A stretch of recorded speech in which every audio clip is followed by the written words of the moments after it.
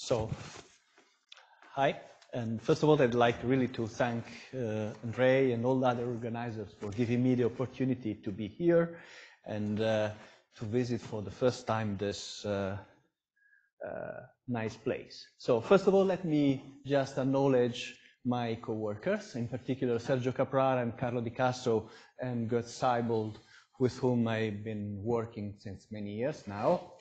And I think it is also fair for me to, to mention Claudio Castellani, who now retired, but with whom I collaborated for decades. And uh, a lot of the work we are now doing rests on work we did along the decades. And uh, I also would like to acknowledge the collaboration with uh, our experimental friends, who, namely Giacomo Ghiringhelli, Lucio Braicovich, and Ying Peng and Riccardo Arpaia and Floriana Lombardi, who did some uh, resonant inelastic X-ray experiment, which are very helpful for us. So I don't think I need here to explain what a strange metal is. And just uh, I would like to make a, very quick remark concerning the fact that, how this works. Okay, that uh, uh, sometimes, quite often, strange metal behavior is associated to quantum critical points, but as a matter of fact, the known apparent quantum critical points which are associated with this behavior not exactly occur uh, below the non-Fermi liquid strange metal phase. So sometimes there is some displacement, and also sometimes uh, this uh, non-Fermi liquid behavior, the strange metal behavior, occurs over extended parameter regions. So you will see later why I'm mentioning this and making these two remarks. Uh, sorry. So one possibility to get strange metal behavior, this is of course is not the only possibility, but two sufficient conditions to realize a strange metal behavior are given by these two conditions. First of all, you can have some low energy scattering mechanism, and if the scattering mechanism is at low enough energy, you can get this linear in T resistivity, for instance, down to very low T. And if the temperature is larger than the characteristic energy of the mediator of the scattering, then the statistical weight, the Bose factor, just become proportional to T, and then, then you easily get that the scattering is proportional to T. So this classical fluctuation are immediately giving you a linear in T resistivity. Okay. Naturally, of course, you can notice that since in the Bose function there is T appearing and not the magnetic field, of course, you don't expect to have h over t scaling or the scattering not necessarily Planckian because there is some uh, coupling constant between the scatterer and the fermions which plays some definite role. So this is an open issue there. Another important ingredient to realize a strange metal, though, is that you need some isotropic scattering in order to affect the whole Fermi surface, okay? Because if the scattering is peaked around some specific Q, finite Q, then uh, the scattering only acts on parts of the Fermi surface, the well-known hot spots, whereas the rest of the Fermi surface stays cold and keeps its uh, Fermi liquid, the, the quasi-particles there have their Fermi liquid uh, behavior, and everything stays Fermi liquid-like. Yeah? I'm sorry. I mean, the point is that uh, it's not sufficient. I don't agree with point one. It's not sufficient to have a low energy scattering mechanism because that mechanism, you need a momentum sink also. The, uh, the well, what I'm saying is that uh, this is typically what happens with phonons at high temperature, well, but, uh, so, okay, above the block horizon. So, so this is a sufficient condition for so that. So you're neglecting drag. So you have to and, say there is no drag. You're neglecting drag effects. Yes. Okay. So. I, I wanted to reiterate Subir's point, but I didn't want to do it because I didn't. I wanted somebody else to interrupt first. So, I mean, it's the same point that I also am worried that you are saying if the resistivity is linear in T, it's not a Fermi liquid. That may be correct, but that has some assumptions built into it. That it's an inelastic scattering process or something. Suppose I have phonons and sure. the Kf is very, very small. Then linearity in, in resistivity, just standard equipartition will continue for very low temperature. And that will not be. So, so what I'm saying, what you're saying is not incorrect, but you have some model in mind. Sure, okay. I agree with you. Okay, so this, keep in mind that these are not the only possibilities, okay? Okay, okay? But this, if you realize this, then you can have some strange metal behavior. Now the question is, do we have these two conditions realized, in, for instance, in cuprates?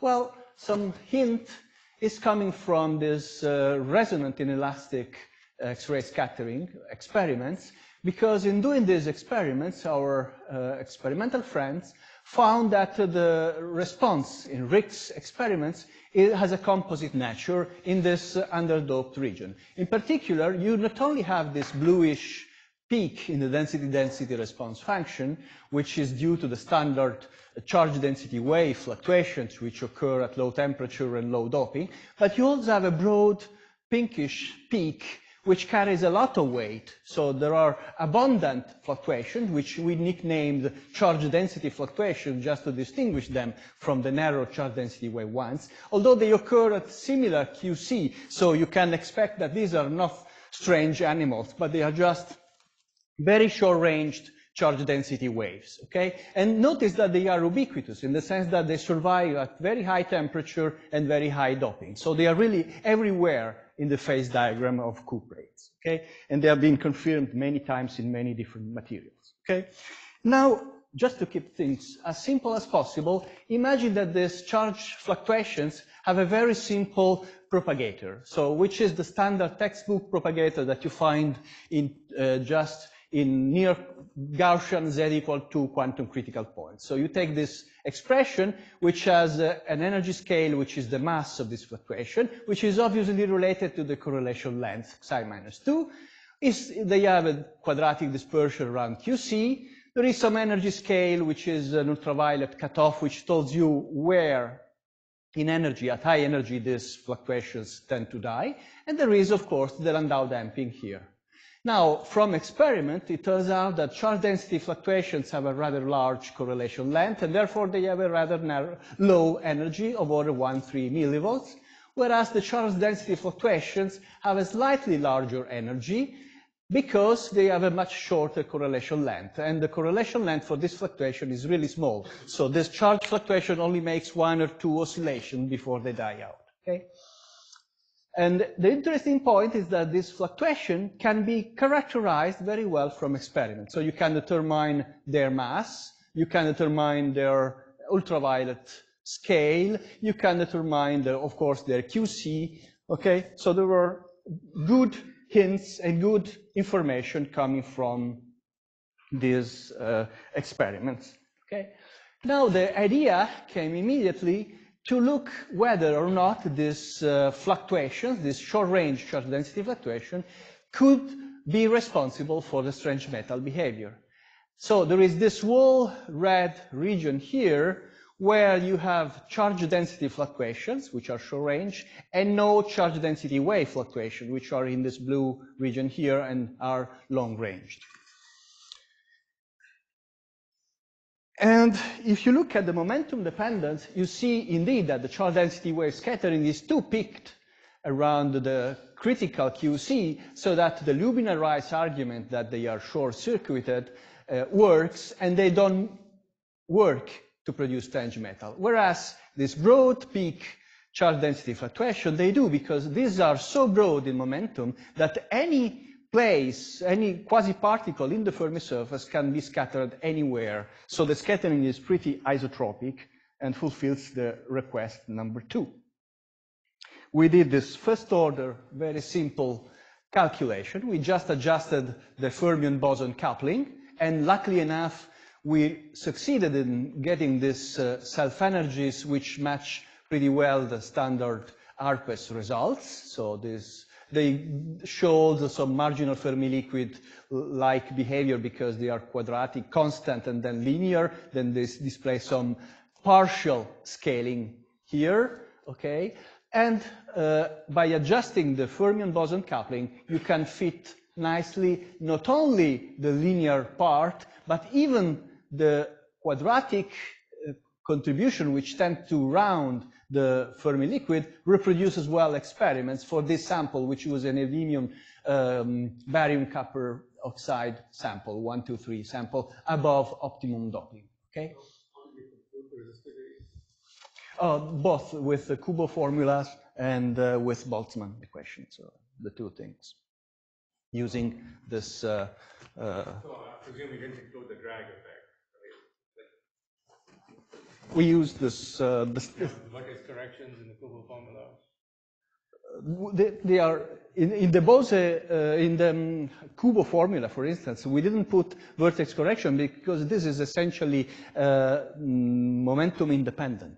You can check that on the Fermi surface, we didn't put the momentum dependence here because these curves are essentially the same everywhere on the Fermi surface. The peak is so broad that you don't, so you don't have vertex corrections in the response. The question is, look at this uh, number. This is about uh, 8 millieV. So this is the right scale for this sample, but this is the typical energy of this fluctuation. And therefore, you wonder, if this is the energy of this fluctuation, then how can it be that if I put a magnetic field and I extend the linear resistivity down to very low temperature, I can have linear resistivity using a fluctuation which has such a large energy. I violate this uh, condition number one about the classical character of the fluctuation, okay? So we should explain this.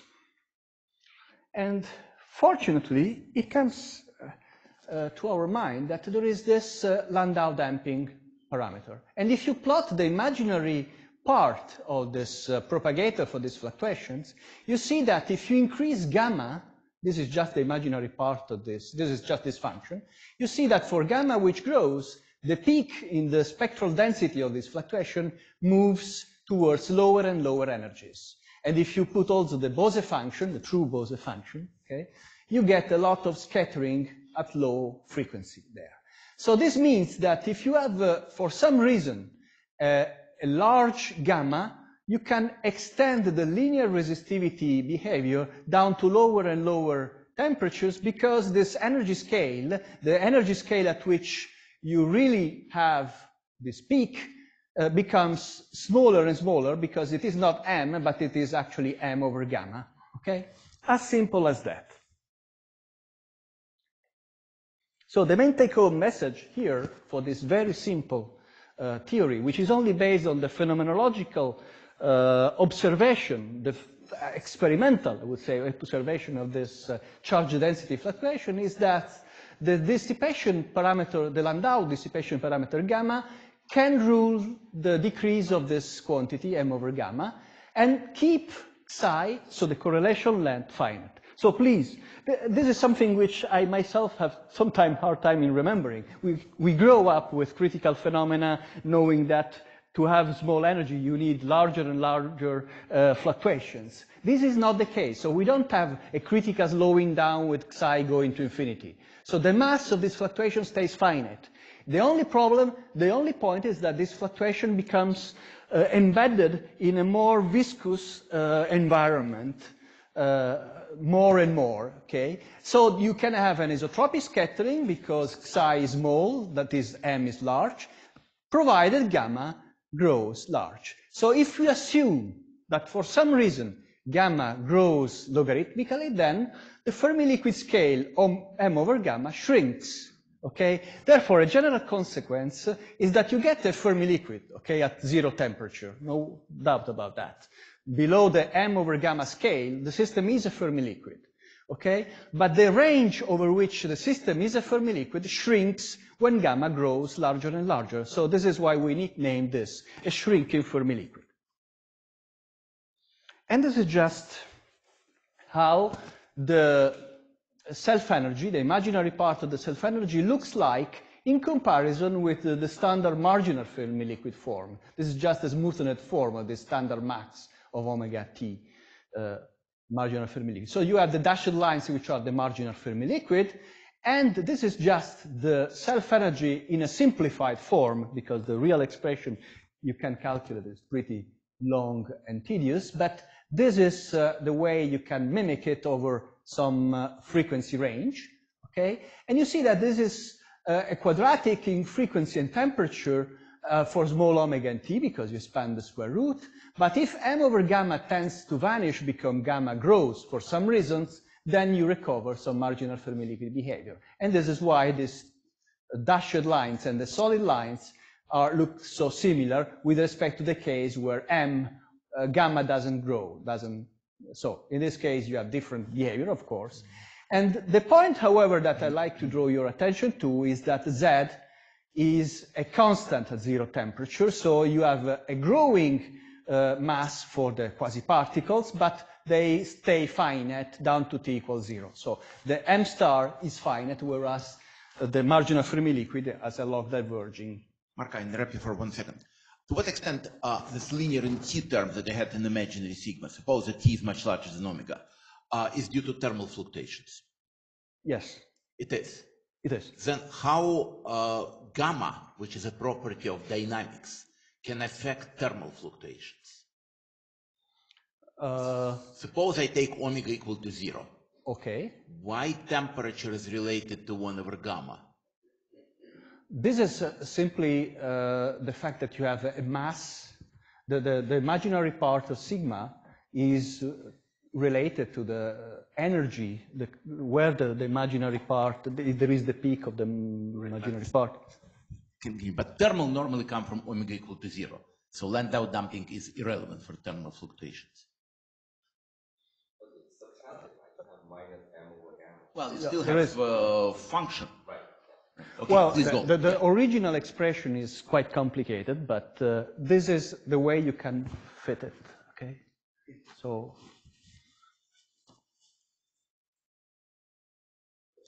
So this is the region where you recover the Fermi liquid, but you see it is narrower and narrower. And now let's look at some experimental consequences for that. For instance, okay, so you have the standard diagrams for the optical conductivity. You can neglect the vertex correction because the self-energy doesn't depend on momentum.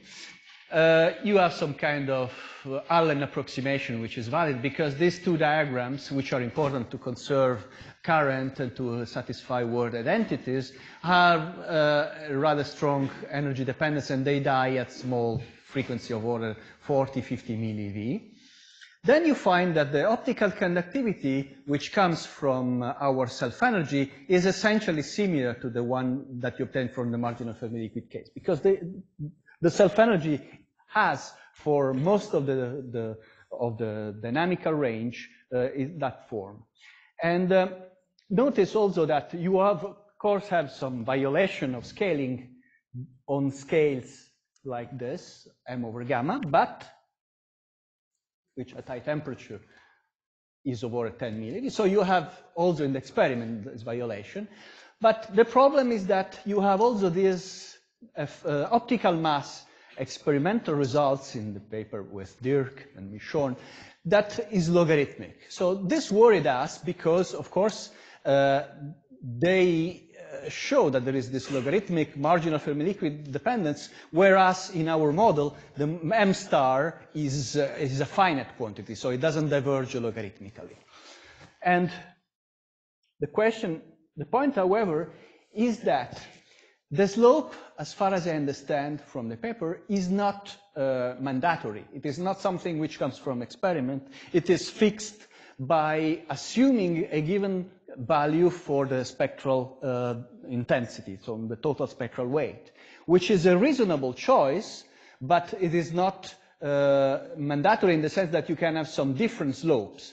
And also the temperature range over this growth occurs for the optical mass is much larger. It comes from to uh, 300 Kelvin, whereas the specific heat loses its uh, logarithmic correction at 10, above 10 Kelvin. So our proposal is that these two things come from different sources. This comes from, indeed, from the electronic degrees of freedom, which are addressed by this marginal Fermi liquid-like, shrinked Fermi liquid-like self-energy. And since, therefore, we have the same behavior. Whereas this comes from a different source, which is due to bosonic modes, which do have to be present in the thermodynamics of our system. And the, the fact that these two different origin could produce the same slope is actually maybe uh, simply the result of a choice that uh, our experimental friends made.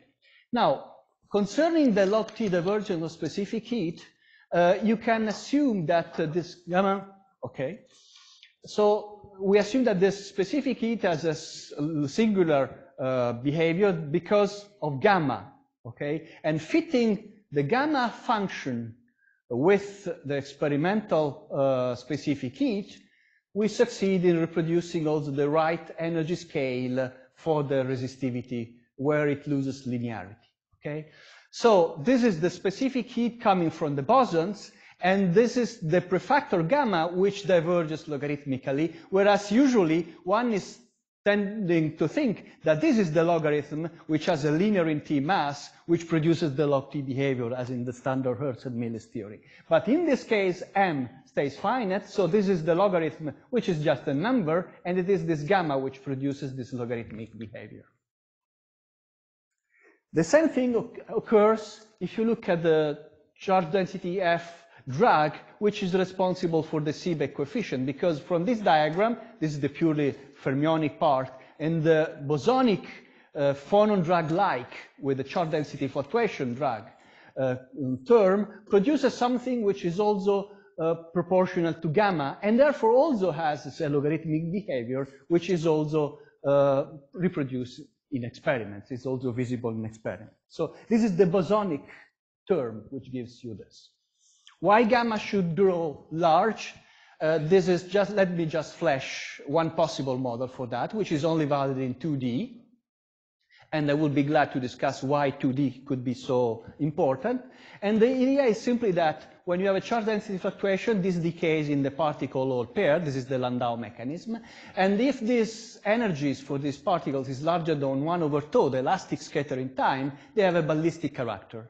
If this is smaller, T and omega are smaller than 1 over tau, then they decay in particle hole pairs which start to diffuse with a repeated scattering over impurities. So this acquires a diffusive poles, and the diffusive pole, once you integrate over all momenta, because these are merely local fluctuations, you integrate over all Qs, give you a correction in the imaginary part, in the self-energy for the charge density fluctuation, an imaginary part which is logarithmically divergent.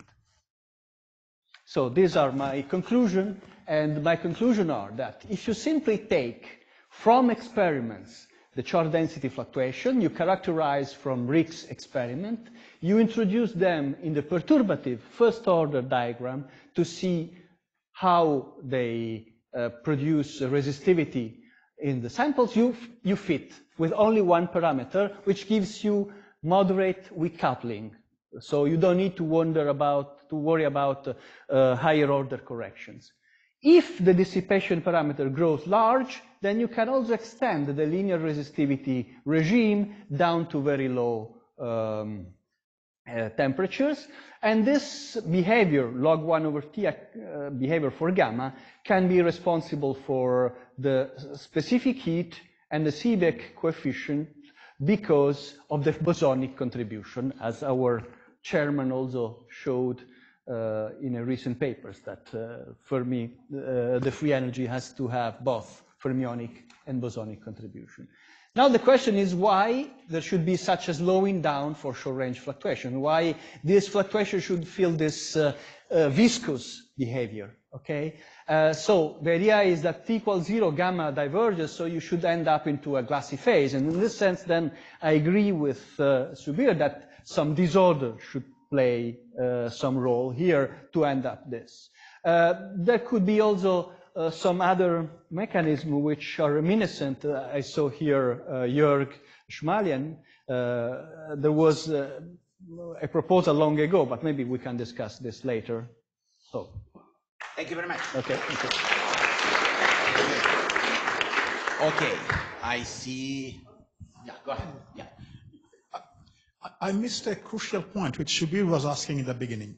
To get transport, you need momentum relaxation. You are talking about charge density fluctuations that are arising from electron-electron interaction itself. So is it, you have Umklapp built into the process because Q is infinite everywhere, so you're assuming Umklapp everywhere? Because I notice you're calculating imaginary part of self-energy. So is there an assumption Yeah, of let me say something. Okay. Um, this uh, uh, form that I used uh, for the propagator, for the charge density fluctuation propagator, has this omega square uh, over omega bar term. This apparently innocent term is very important because comes can come from purely electronic terms, uh, and then it gives rise to uh, something which is momentum conserving, and therefore you get a sigma of omega, which is just a delta-like. Okay? But uh, this can also come because this charge density fluctuation have a strong phononic component. So it's a built-in phononic component, and this is hidden in this uh, omega square of omega bar parameters, which is important to give you uh, dissipation in your system. Okay, so the way the system you has some dissipation mechanism in it. So But, I mean, so momentum relaxation is coming from phonons. My question is purely physical. Yeah. What, where is the momentum relaxation coming from in your theory? Never mind the propagator. What, what is the process that's causing the momentum relaxation? Without momentum relaxation, there is no transport, right? If momentum is conserved. So what's causing the momentum relaxation in your theory? Scattering by a large momentum. Yeah, I um, think it's Umklapps. Umklapp built in, as I said, in your theory. not only umklapp, I mean Yeah, everything yeah. in the Fermi surface is everywhere. Without It- you will not get any. Yeah. M- May I try to rephrase all the question, maybe, no, because there are discussion going on in the last week. So I think that what Sub- Subir touched from the point that you can have an imaginary part of the quasi-particle self-energy, which is anomalous, but it doesn't mean that you see anomaly in transport. Do we agree that this is what we are discussing? So essentially, what you see in the imaginary part of the self-energy doesn't automatically translate in transport because you may, you may have to Berek Galilean invariant, for example. This is what umklapp is. Okay, this is all that the discussion is going on. Okay, so ju- just to you know, because there was, I mean, we are making this discussion since one week already. I've been, you know, everybody was here. So, so the point probably has to be stated in this way. Okay, but just to, to make it. So And the question would be that I just way. want to add that uh, no matter I have to keep. Sorry. okay, n- n- no matter how Because there are other people who want. so no matter what the self energy we find. Okay, okay, Answer is clear. Answer Okay. is clear. Okay, can I just interject? Umklapp by itself is not enough, you need multiple umklapp. Just one umklapp, you can gauge it away. Yeah. Well, can I address this very quickly? In this think we all respect, agree. Marka, when you were saying several times, vertex corrections are irrelevant in your case because self-energy is only frequency dependent. Yes, self-energy is frequency dependent. However, wavy line, bosonic propagator, is momentum dependent, and it's important for you. Then if you calculate Maki-Thompson diagram, it's not zero because of this. So in this Uh, case, yeah. for the current, yes. Uh, I was mentioning uh, that only for the uh, conductivity. For the current current response, then it is zero. Yes, no, no, because of momentum dependent, it's not zero. Uh, yeah, Marco, you mentioned the choice we made. So I'm under the impression that the choice we make was like the choice you make in a steakhouse. You take the steak. So what, according to you, is the fish? Sorry?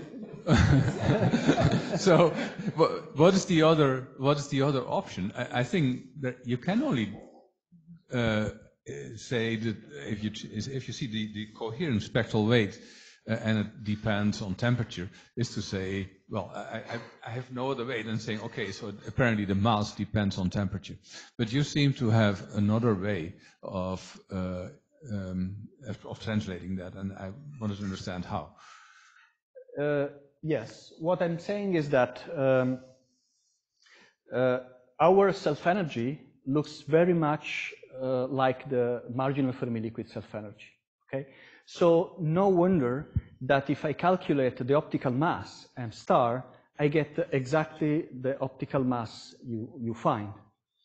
Okay. But uh, this, so I get a logarithmic divergent optical mass. The slope of this mass instead was fixed uh, by fixing the total uh, spectral weight using a tight binding model and calculating the kinetic energy of this tight binding model. Do I remember correctly? And this fixed somewhat this, the slope of, the, of this logarithmic term. Okay. The other term, which is the other m star uh, data, was the specific heat data. And what I'm saying that these do not come from fermionic quasi-particle with a marginal Fermi liquid like or a shrinking Fermi liquid like self-energy. They come from purely bosonic degrees of freedom. So there would be no reason why the slope is the same. But then I say, don't care about that, because if I adjust in a different way the slope of the optical mass, Uh, so then I'm fine. microscopically it's quite different. This Okay, is what I'm it. saying. Uh, The experiments that you uh, uh, refer to uh, indicate a relatively small energy scale. And I guess my question is, how, how do you connect to the larger energy scales in the problem, the pseudogap and pairing scales? sort of the Whi- ele- which scale, sorry? How do you, how do you connect in your thinking to the larger energy, energy scales of the problem? The, the experimental data, the RIXS data you mentioned, uh, extract a relatively small scale you're focusing on, on, on quantum criticality at, at, at low energy scales. But in- in your thinking, how, how do you connect to the larger energy scales in the problem, the pseudogap phenomenon and, and Uh, this, pairing? uh, this, say, I think has a different origin. So um, they can be magnetic.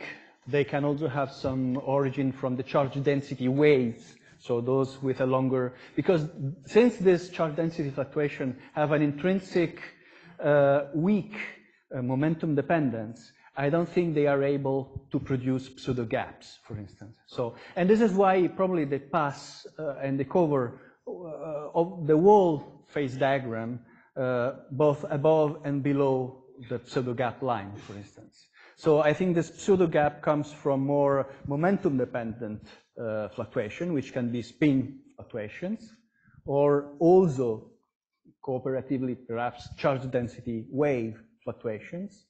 But in any case, they have nothing to do with these charge density fluctuations. Yes, uh, what, what has to happen in order to fulfill point two on your list, Uh, you mean this? Uh, physically?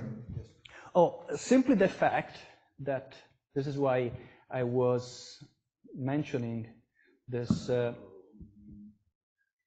uh, okay, uh, simply the fact that uh, this physics here, the strange metal physics, doesn't come too close to the quantum critical point. Because if I stay here, the correlation length is still finite.